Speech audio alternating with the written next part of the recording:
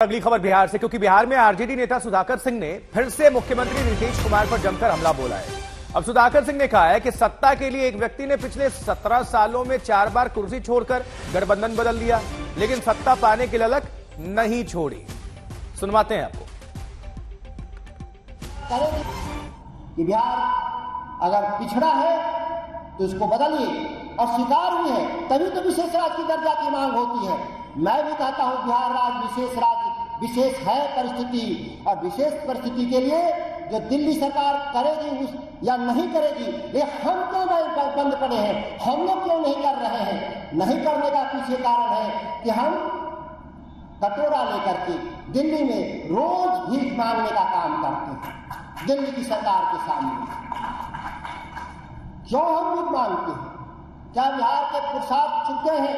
कभी इस देश पर बिहार के लोग राज करते थे? बिहार विकास के लिए एक विशेष राज विशेष राज का नारा लगा करके रोज दल बदल करते हैं। रोज गठबंधनों को बदलते हैं। पिछले सत्रह सालों में चार बार कुर्सी छोड़ा, चार बार बदला। व्यक्ति वही रहा, पद भी वही रहा, केवल गठबंधन बदलते रहे, बिहार का तकदीर नहीं बदला